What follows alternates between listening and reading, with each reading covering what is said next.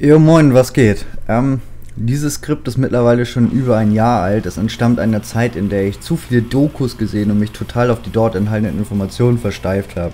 Ich kann nicht sagen, wie ich heute zu dem Thema stehe, da ich mich auch schon seit über einem Jahr nicht mehr damit beschäftigt habe. Aber ich wollte euch meine Gedankengänge von damals nicht vorenthalten und da mache ich jetzt einfach dieses Video. Lasst uns gerne in den Kommentaren drüber diskutieren. So, ich beschäftige mich schon eine ganze Weile mit der Vergangenheit, also vielmehr mit dem, was sehr weit vor unserer Zeit liegt, mit dem, was vor tausenden von Jahren war. Äh, ich habe dadurch immer mehr Interesse bekommen an Fragen, wer da was ist der Mensch eigentlich und woher kommt er? Sind wir wirklich die einzigen intelligenten Lebewesen im All? Sind wir die einzigen, die so ein Bewusstsein entwickeln konnten? Woher kommt dieses Bewusstsein? Wurden wir erschaffen und wenn ja, von wem? Gibt es ein oder mehrere Götter? Und so weiter und so fort. Da gibt es tatsächlich etliche Fragen, die einfach unerklärt bleiben. Fakt ist, dass wir weniger wissen, als wir glauben, dass wir keinerlei Vorstellungskraft haben für das, was war. Die Menschen haben Religion entwickelt und uns Gott als Wesen vorgestellt, das irgendwo da oben im Himmel sitzt und über uns wacht. Das entscheidet, ob wir in den Himmel oder in die Hölle kommen, wenn wir seine Regeln und Gebote be- oder missachten. Letztendlich sind dies alles Gebilde von Menschen für Menschen und die nur der Kontrolle. Religion sind Konstrukte der Kirche und das hat mit Glauben nicht mehr viel zu tun. Es gibt so viele Fragen und Dinge, die sich Menschen nicht erklären können und dann liegt ihnen Gott als Antwort nahe.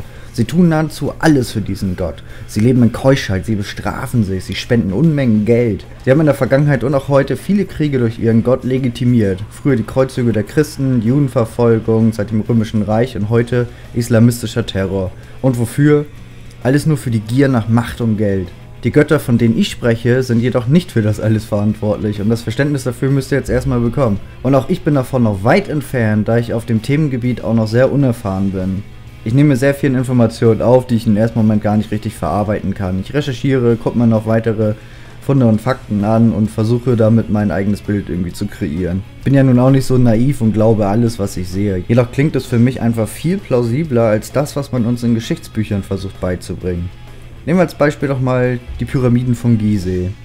Wir haben darüber doch sicher alle im Geschichtsunterricht mal gesprochen, dass die Ägypter mit kleinen Steinen da so lange rumgekloppt haben, damit die Steine in Form gebracht werden konnten. Äh, dann hätten sie mit Holzfehlen tonnenschwere Steine über den weichen, teilweise schlammigen Nilboden gezogen und zu einer Pyramide aufgetürmt.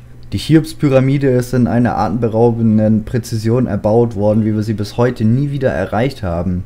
Sie ist perfekt ausgerichtet und zeigt uns die Zahlen Pi und Phi an, die die Menschen erst vor nicht mal 200 Jahren entdeckt haben. Man kann an ihr die Maße der Erde ablesen und ja auch, dass die Erde eine Kugel ist, um die Flacherdler mal zu sticheln. Man kann an ihr genauso die Erdrotationsgeschwindigkeit, die Geschwindigkeit, mit der sie um die Sonne kreist und die Lichtgeschwindigkeit ablesen. Das sollen alles irgendwelche ägyptischen Sklaven geschaffen haben? Fragt man Ägyptologen, haben sie nur schwammige Erklärungen oder es sind alles Zufälle. Ich glaube schon lange nicht mehr an Zufälle. Ich lasse mich von sowas nicht mehr verarschen. Heutige Wissenschaftler können oder wollen sich nicht eingestehen, dass es vor tausenden von Jahren schon intelligentes Leben auf der Erde gab als heute. Aber ich kann mir auch denken, woran das liegt. Wir haben den Sinn zur Natur verloren und uns zu sehr dem Materialistischen zugewendet. Das Pyramidenplateau in Gizeh und die Sphinx sind also eine riesige Sternuhr. Das astronomische Verständnis der Erbauer war enorm hoch. Allgemein haben sich die damaligen Bewohner der Erde viel mit dem Kosmos beschäftigt. Parallelen dazu finden wir auf dem gesamten Planeten. Bei den Maya, Inka, Mesopotamia, in Ägypten, China, auf den Osterinseln und wo nicht noch alles. Ist das alles nur gewaltiger Humbug? sind das alles wirklich nur Zufälle?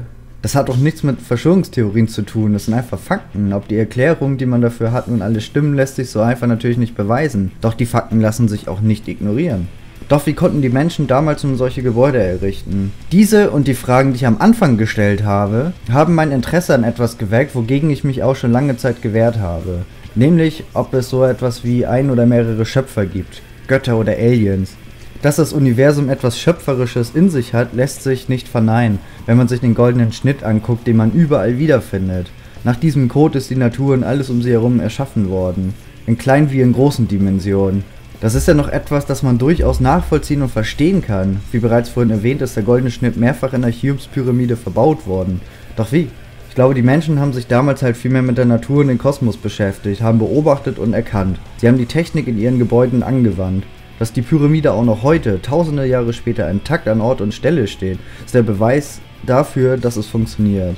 Das erklärt jedoch immer noch nicht, wie man damals in der Lage war, etwas so massives, so präzise zu erbauen, wo unsere heutige Technik eben nicht in der Lage ist. Hatten sie Hilfe? Wenn ja, von wem? Eventuell geben uns ja die Hieroglyphen Aufschluss darüber. Dabei müssen wir nur folgendes beachten. Es gibt zwei verschiedene Arten von Hieroglyphen in Ägypten. Das ursprüngliche und das neuere.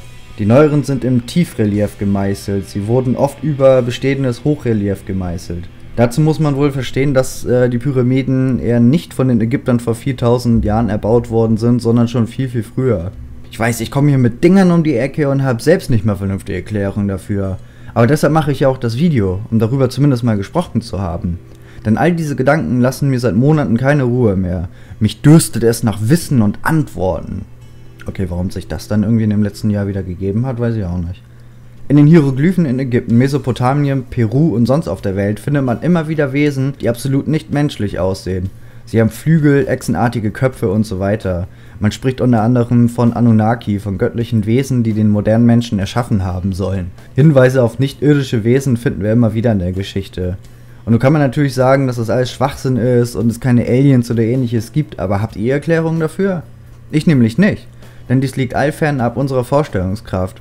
Hinweise da finden wir allerdings überall, selbst in der Bibel. Und die Bibel ist nicht nur ein Märchenbuch, sie ist das wohl erste Geschichtsbuch, das wir auf der Erde haben. Ersetzt man nun Gott oder Jesus durch die Sonne und löst sich von kirchlichen Erklärungen, entdeckt man, dass die Bibel astrotheologischen Ursprungs ist.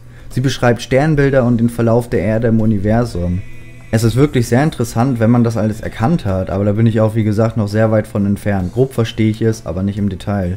Will man nun partout nicht an Götter oder Aliens glauben, will ich zumindest noch versuchen, euch eine Erklärung zu geben, wie denn nun die Pyramiden etc. erbaut wurden. Wie war man in der Lage, diese tonnenschweren Granitblöcke so in Form zu bringen und so zu bewegen? Schaut man sich einige der Funde an, die zum Beispiel in Museen ausgestellt werden, so wird dann immer wieder erzählt, dass es sich hierbei um irgendwelche religiösen Artefakte handelt dass auf den Hieroglyphen nur religiöse Rituale zu erkennen sind, etc. Würde man nun aber mal Ingenieure objektiv dazu befragen, würden sie wohl sagen, dass es sich bei den Funden vielmehr um Maschinenbauteile handelt.